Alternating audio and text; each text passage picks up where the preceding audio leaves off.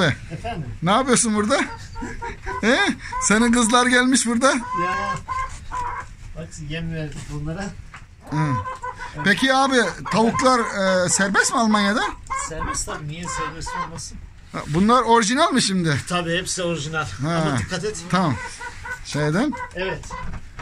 Tavukların isimleri var mı isimleri? Var. Zilli, pullu, tarçın, merkel. Tarçın ama Merkel niye? Merkel niye? Evet. Ne bileyim yani.